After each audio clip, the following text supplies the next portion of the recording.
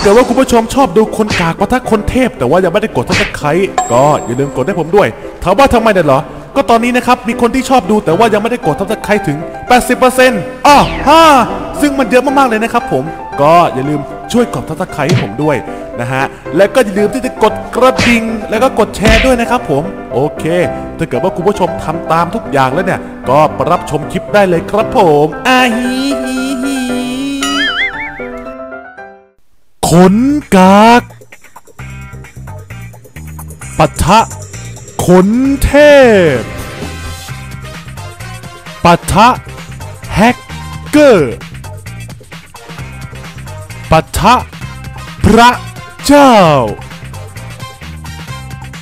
ตอนการสร้างบ้านที่สูงที่สุดในโลกใบนี้ ขนกาก อ้าวสวัสดีครับ วันนี้อยู่กับผมคนกลางเองนะครับ วันนี้ผมจะมาสร้างบ้านที่สูงที่สุดในโลกกันนะฮะ ก็อารมณ์มันจะเป็นเหมือนตึกผสมกับบ้านนั่นแหละนะฮะ ตึกใบหยกอะไรเงี้ยนะฮะ โอเคครับ มันจะเป็นยังไงเดี๋ยวเราไปดูพร้อมกันเลยนะฮะ นี่เลยเอาแบบสูง เอ๊ะไม่ต้องถึงกับแตะขอบฟ้าหรอกมั้ง นี่เลย สูงเท่าไหนก็ได้ แต่ผมจะวางอย่างนี้ไปก่อนนะนะ ประมาณสัก ประมาณ 6 บล็อกไงนะ แล้วผมก็จะต่อขึ้นไปสูงๆเลย เอาราวๆสักความสูงนะครับ ความสูงประมาณสัก 40-50 บล็อกอะไรเงี้ยอ๋อฮะซึ่งมันสูงมากๆเลยแหละนะฮะ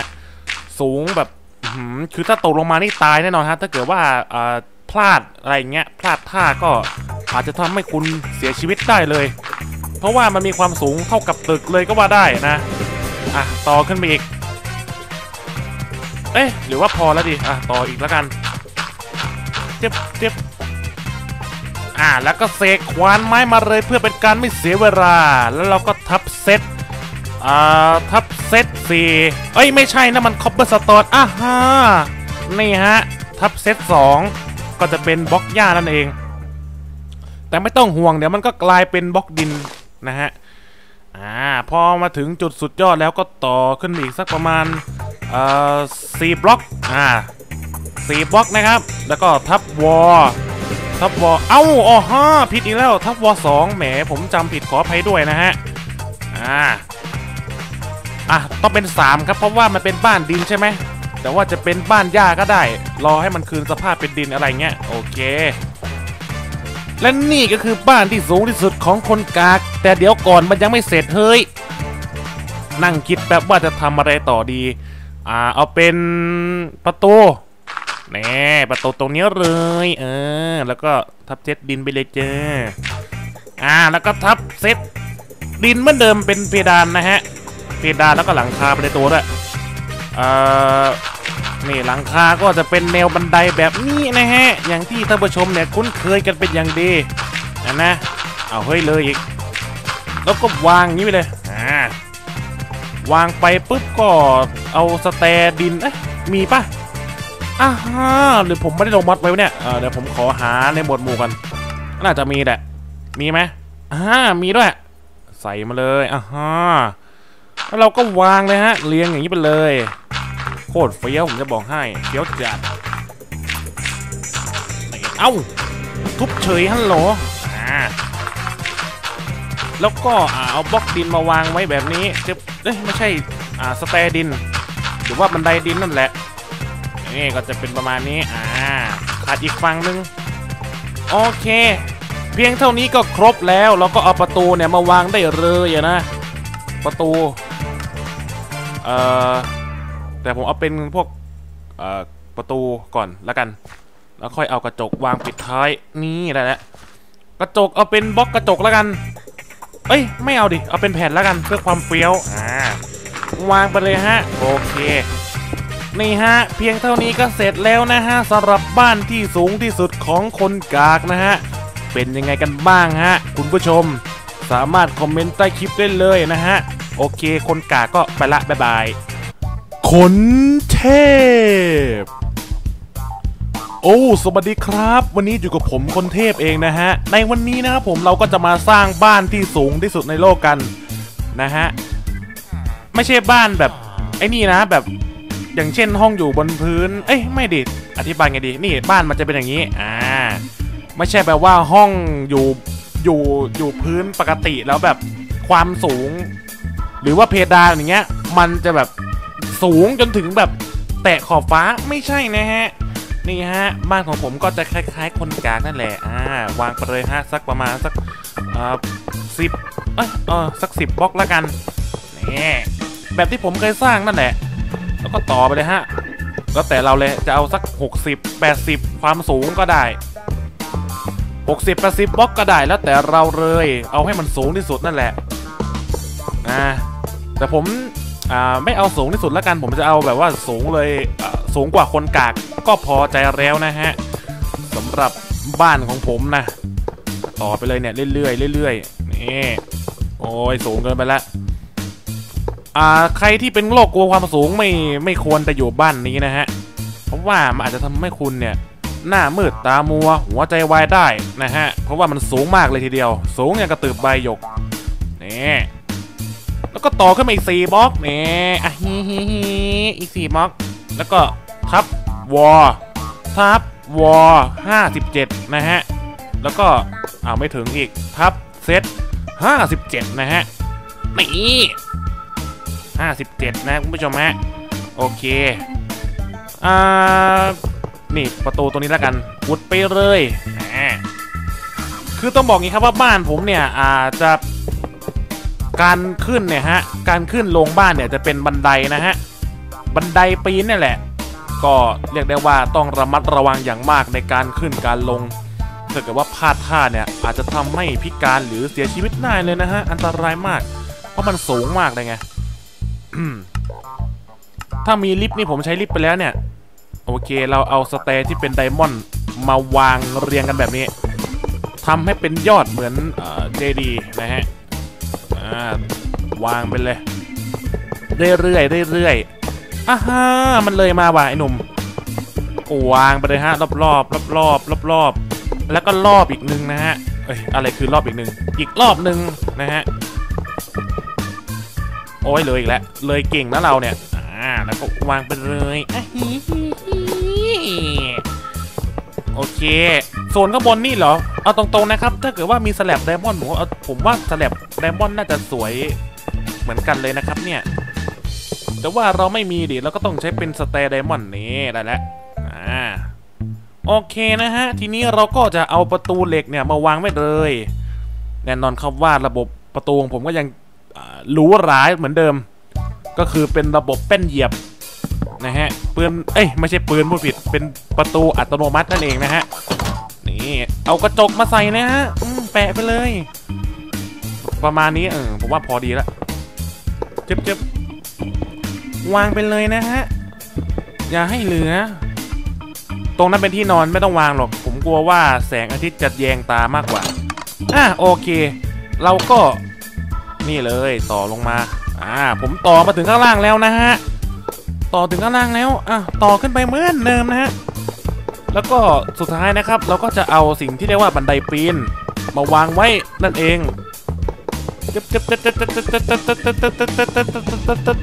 โอเคถึงแล้วฮะ โอเค เราจะทับเซตดูว่ามันจะได้หรือเปล่า ถ้าได้ก็ดี ทับเซตอ่าหกสิบห้าอ่าฮะอ่าฮะมันหล่นลงมาทั้งยวงเลยว่ะเฮ้ย สงสัยเราจะต้องวางเองแล้วแหละ โอ้ my god ผมก็ไม่ค่อยได้ใช้เวอร์อิดิตแบบว่า เอาพวกบันไดมา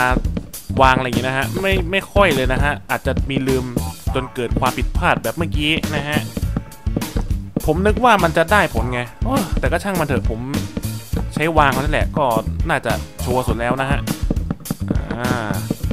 ผมต้องกดชิปค้างอะ ถ้ากดว่ากดชิปรัวๆมันจะ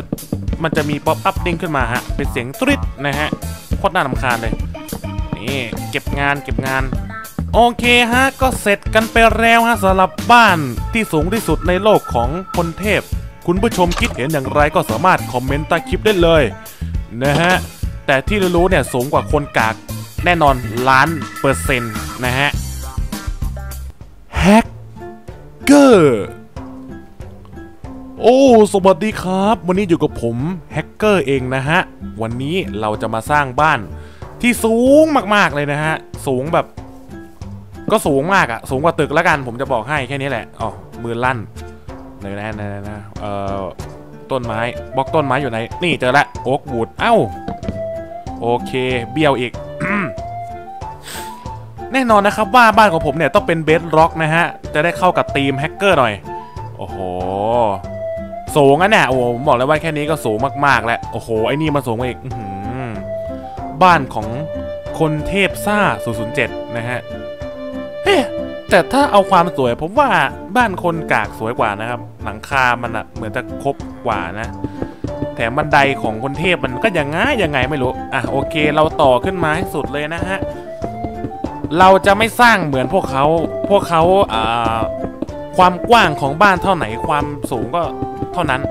เอ๊ะ ต้องพูดยังไงอะคือความเนี่ยจะสังเกตว่าความกว้างเนี่ย มันจะเท่ากันหมดทุกชั้นเลยหมายถึงความสูงนะฮะ แต่บ้านผมวะนี่เลย ไอตัวที่ทำให้สูงเนี่ยจะเป็นเสาเล็กๆ ที่อยู่ตรงกลางนะฮะ แล้วก็จะเป็นตัวบ้านแค่นั้นเองนะฮะ ซึ่งมันประหยัดเวลาได้เยอะเลย อืม ประหยัดได้เยอะอยู่พอสมควรนะฮะ นี่ มันเลยไม่เหมือนกันไง แล้วแถมวิธีการขึ้นก็ น่าจะสะดวกกว่าบ้านของคนเทพ เพราะว่าไอ้นั่นอะ มันเป็นบันไดเขาเรียกว่าอะไรอะบันไดสองสองแถวอะ อืม ซ้ายกับขวา แต่อันนี้คือแถวเดียวเลยนะฮะบล็อกเดียวเหลือๆไม่ไม่กินพื้นที่ด้วยฮะอตอนขึ้นอาจจะลำบากนะครับ ตอนลงอาจจะง่าย เพราะว่าโดดไปเลยฮะ เหมือนโดดล่มอะไรเงี้ย โดดล่มแล้วก็ โดดไงก็ได้ให้มัน ให้มันเข้าในบริเวณบันไดให้อ่าให้เร็วที่สุด แล้วคุณจะรอดตายนะฮะ โอเคบันไดเลยฮะ อ่าต่อมาเลยโอ้โอะผมจะค่อยๆแล้วกัน ต่อขึ้นก็เป็นวิธีที่ดีนะฮะสำหรับบันไดหรือว่าบล็อกสูงๆ ถ้าเกิดว่าเราต่อจากล่าง เอ้ยถ้าเราถ้าเกิดว่าเราต่อจากบนลงล่างเนี่ย ผมว่ามันจะลำบากตรงปุ่ม shift นี่แหละฮะ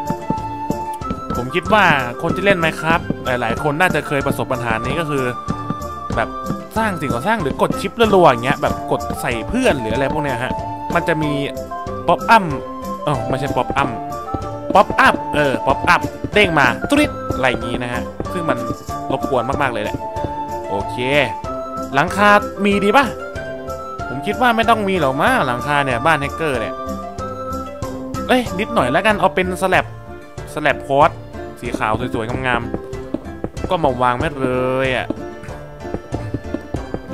นี่เอามาวางไว้อย่างนี้นะฮะโอเค ทีนี้นะครับเรามาโอ้ยผมว่าไม่ต้องมีประตูแล้วแหละปะมามาหมายถึงประตูที่เป็นบานนะฮะผมจะใช้เป็นประตูกลนี่แหละ หรือว่า trap door นั่นเองนะฮะ แล้วก็มาอุดไว้เลย นี่แบบนี้ เพราะยังไงขึ้นลงก็ต้องปีนอยู่แล้วนะฮะ นั่นแหละ อ่า กระจกก็จะเป็นกรง กรงเหล็กนี่เอ้ยมันจะสวยปะผมว่าสามนั่นแหละดีแล้วนี่ความยาวของกระจกประมาณนี้ อะ โอเคนะฮะ ผมคิดว่า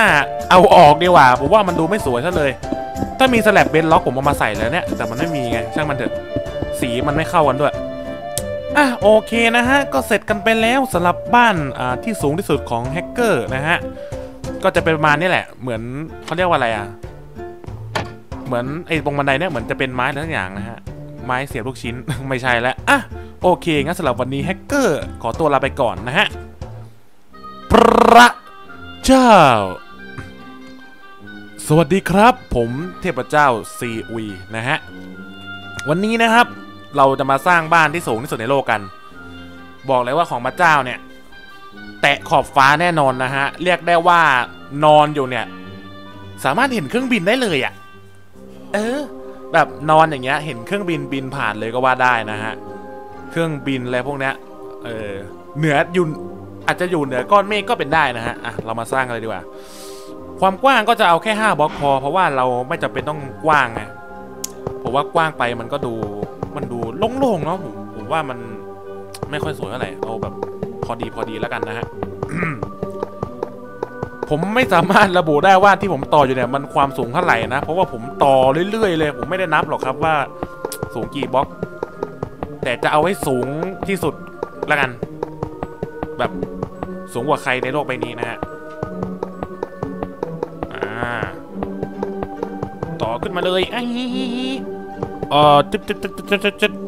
เฮ้ยผมคิดว่ามันสูงพอนะอ่าฮะ โอเคนะฮะ แล้วก็ทับเซต 41 ไปเลยนี่โอ้โห โคตรสูงอะ่ะ สูงจัด เรียกได้ว่า โอ้โห ตกลงมานี่แบบ ร่างกายแหลกเหลวแน่นอน นะฮะ โอเค มันยังไม่หมดเพียงเท่านั้น เราก็จะต่อขึ้นไปอีกประมาณ 4บล็อก อืม ก็เพิ่มไปเป็นตัวบ้าน ทับวอ41 อ่า แล้วก็ทับเซต 41เหมือนเดิมอ้าวสี่โอเค ประตูเอาจริงไหมผมว่าบ้านผมไม่ต้องมีประตูก็ได้ เพราะว่ามันเป็นบ้านพระเจ้าไงพระเจ้ามีความสามารถในการเหาะเหินเดินอากาศ ประตูไม้แล้วกันอโอเคหลังคาก็น่าจะทำเป็นแนวบันไดเหมือนเดิมนะฮะ ผมคิดว่าหลังผมไม่มั่นใจว่าหลังคาในเกมนี้มันมีแบบอื่นหรือเปล่านะ นอกจากแนวเนี้ยอืมเท่าที่เห็นก็ จะเป็นบันได แล้วก็อะไรอะหลังคาที่แบบ เป็นแบบบ้านวิลเลเจอร์อะที่มันจะมีสลับอยู่ตรงขอบอะว่าผมรู้จักแค่นั้นแหละนะฮะเอ่อยังไงต่อดี เอ่อไม่เอาดีกว่าไม่เฟี้ยว เอาเป็น นี่แล้วกัน อ่า นี่แบบนี้เลย เฮ้ยผมว่าจะผมว่าแนวผมว่าแบบนี้สวยกว่านะ สวยกว่าที่มันเป็นจุกตรงกลางอะจุกตรงกลางมันยังไงไม่รู้อะต่อขึ้นมาเลย เออ เอ้าแล้วผมจะวางตัวนี้ทำไมเนี่ยอะ โอเคครับ ใกล้แล้วใกล้แล้วอีกนิดเดียวเท่านั้นชึบอ่าข้างล่างด้วย ข้างล่างแล้วก็นี่เลยขอเลยมาอีกนิดนึงแล้วกันเพื่อความสวยงามของบ้านนะฮะจึบจึบจึบจึบจึบจึบจึบเอ้าไม่ใช่ โอเค นี่ฮะ โอเคฮะ ก็เสร็จกันไปแล้วสำหรับบ้านของ สำหรับบ้านของพระเจ้าฮะโอเคครับคุณผู้ชมคิดเห็นอย่างไรก็สามารถคอมเมนต์ใต้คลิปได้เลยนะฮะแต่ที่รู้สำหรับวันนี้พระเจ้าก็ต้องขอตัวลาไปก่อนละกันสำหรับวันนี้ สวัสดีครับอะฮิฮิฮิ